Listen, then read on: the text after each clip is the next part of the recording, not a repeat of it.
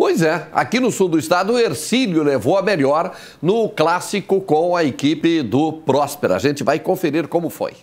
Uma rivalidade que foi acirrada nos últimos anos.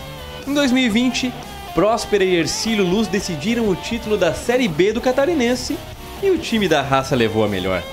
No ano passado, já na Série A, mais uma vitória da equipe de Tubarão, mas dessa vez foi o Leão do Sul que rugiu mais alto. Como o gramado do Mário Balsini está sem condições, o jogo foi disputado no estádio Orlando Scarpelli, mas os 121 torcedores que foram à capital não viram um grande jogo. A primeira etapa foi marcada pelo chute de Pedrinho que quase terminou com uma lambança do goleiro Matheus. E foi só. O Ercílio ficava mais com a bola e controlava o jogo, mas só conseguiu abrir o placar depois de uma mudança. Garratti entrou aos 18 minutos e aos 19 bateu de fora da área para vencer o goleiro Igor.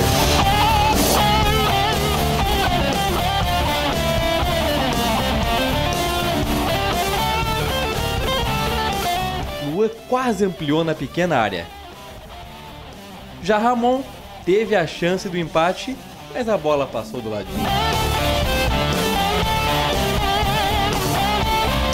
No fim, festa do Ercílio Luz, que chega à segunda vitória em dois jogos e assume a liderança.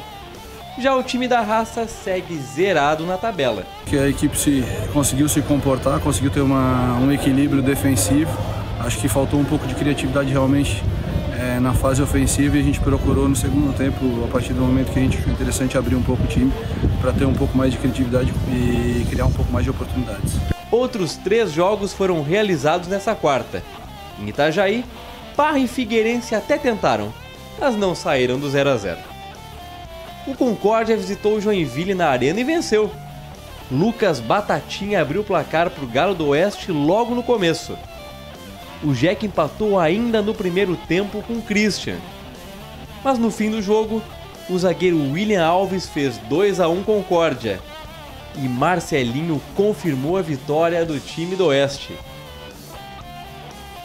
E na reedição da final do ano passado, Havaí e Chapecoense jogaram na ressacada e o Verdão levou a melhor com o gol do artilheiro Perotti. Chape 1, Havaí 0. Dois jogos completam a rodada nessa quinta-feira.